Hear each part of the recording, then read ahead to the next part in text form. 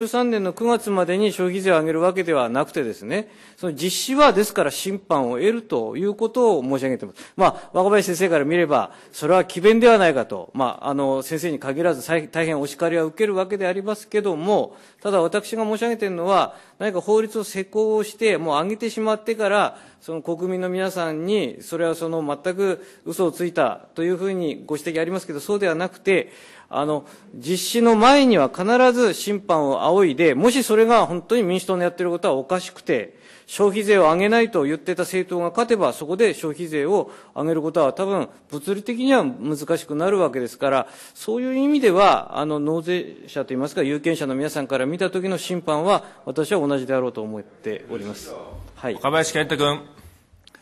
あの、今、まあ、大臣はきっとお、お答えになりながら、自らあのこの話が極めて詭弁に満ちているということを感じておられると思うんですね。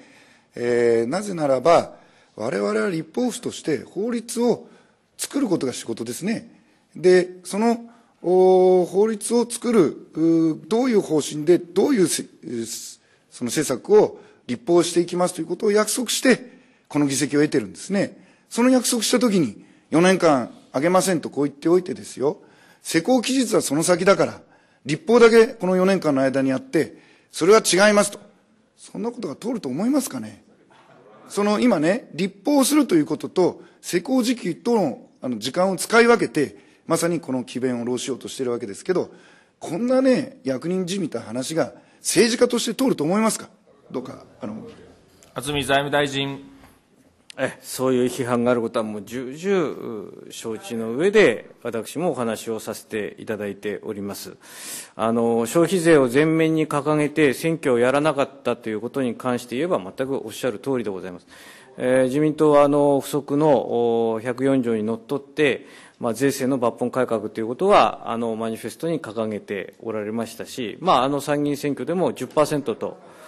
いうことをおっしゃっております。まあ、我が党もあの、紐解けば2004年には消費税8%で、実は参議院選挙に勝たせていただいております。岡田代表の時ですね。まあ、その時私も関わりましたけれども、あの、いずれにしてもですね、あの、厳しい審判を、いずれお互い、あの、有権者の皆さんに受けるわけですので、あの、任期の中で、あの、様々やらせていただいたことに対しては、当然我々は、あの、その厳しい審判にさらされることを自覚しながら、あの、いろんなお願いをこれからもしていくし、まあ、そういう中で批判もあるかもしれませんが、なんとか年度内に法案は提出をさせていただきたいというふうに思っております。若林健太君。あの、まあ、こればっかりっていうと、ちょっと、おまあ、話が前へ行きませんけどね。あの、しかしこれはね、重要なことなんですよ。民主主義の、民主主義政治の、まあ、日本のですよ、民主主義政治の根幹に関わる話だと。私は民主党がその前回の選挙でマニフェストを掲げたことについて、あの、ある種共感を覚えていたと、先ほどもお話ししました。であるとすれば、しっかりそのね、ルールを守るべきなんですよ。おこのそのルールを守らないというような姿勢が、まさに政治不信を招くし、日本の民主主義をね、あの、非常に後退させる危険があると。だから、私は、あの、認められないと。実は野田総理は、あの、同じようにこのアンケートの中でですね、こういうコメントを書いてるんです。あの、読売新聞のアンケートですけど、任期中は消費税を上げない。引き上げるときは引き上げ幅や時期、目的を明確にして選挙で国民の審判を受けてから行うべき。当面は徹底した行財政改革を行って必要な財源を作り出す。これは今の野田総理のアンケートでのコメントです。この言葉に、言葉と今やろうとしていることとの整合性についてどう思われますか？安住財務大臣。あの、まあ、これも批判あるかもしれませんけれども、恒久財源としてはしかし2.6兆、まあ、16.8兆には遠く及ばれないじゃないかと、これも大変批判を受けますが、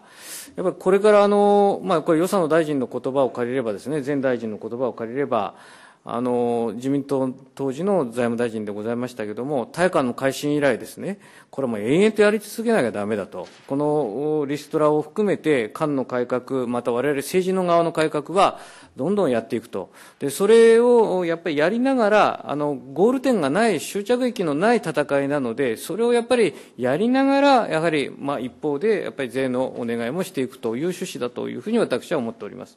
若林健太君。えー、まあ、あの、時間が余りましたので、えー、今日の質疑はここまでと、こういうことでございますが、私はやっぱり民主主義はルールが大切だと、このように思います。まあ、そういう視点でこれからも、この点については、あの、議論を続けてまいりたいと、こんなふうに思います。どうもありがとうございました。